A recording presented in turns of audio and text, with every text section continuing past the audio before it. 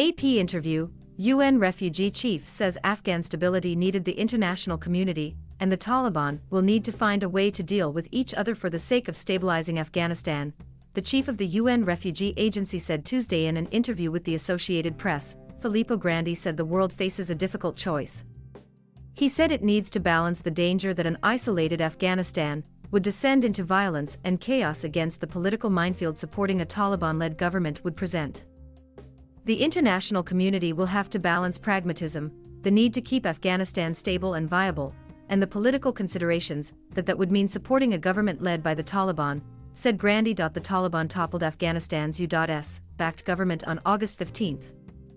They have faced international criticism for forming an interim government made up entirely of Taliban members despite promises to be more inclusive. Governments around the world have said they will not recognize Afghanistan's new rulers until a more inclusive government is put in place.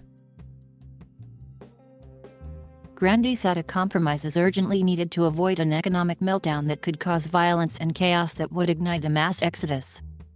A collapse of the already fragile Afghan economy would engulf Afghanistan's neighbors and ripple across the world, he said it's urgent.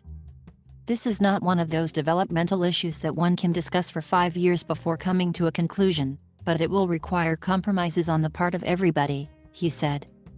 I think that the international community will have to adapt some of its more stringent rules about working with governments, and the Taliban will have to make compromises as well. Grandi said he met with Taliban ministers and found that they listened.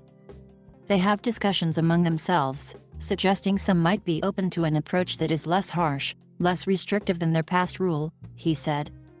He added however that they will be judged by their actions. The task of meeting Afghanistan's humanitarian needs has global support, he said, as indicated by the $1.2 billion raised by the UN on Monday.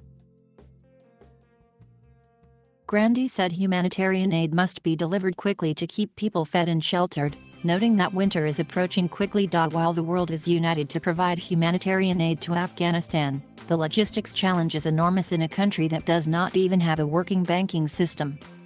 Each day, thousands of people gather outside banks in the Afghan capital hoping for an opportunity to withdraw the $200 they are allowed each week.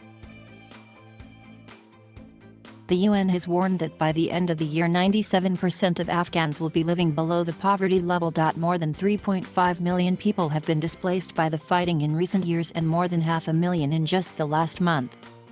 Many are living in makeshift camps and parks in the Afghan capital dozens of families take shelter under tattered sheets strung across road. In Kabul Kabul's Shahri Park, 63 families live in squalid conditions, many of the children are sick and the only portable bathroom has long since exceeded capacity.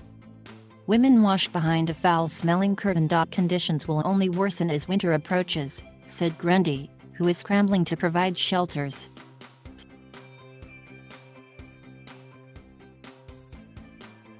Thank you for watching. Please subscribe